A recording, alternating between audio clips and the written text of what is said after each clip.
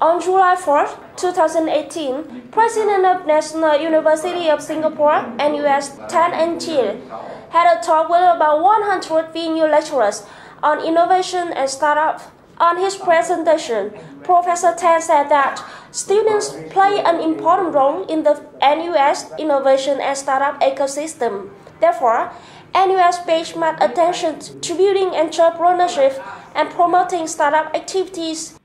VNU and NUS presidents believe that with a large number of common aspects, the two universities could implement more effective cooperation activities in the future. In addition to support VNU in training young lecturers, NUS would cooperate and support VNU in building an innovation and startup ecosystem.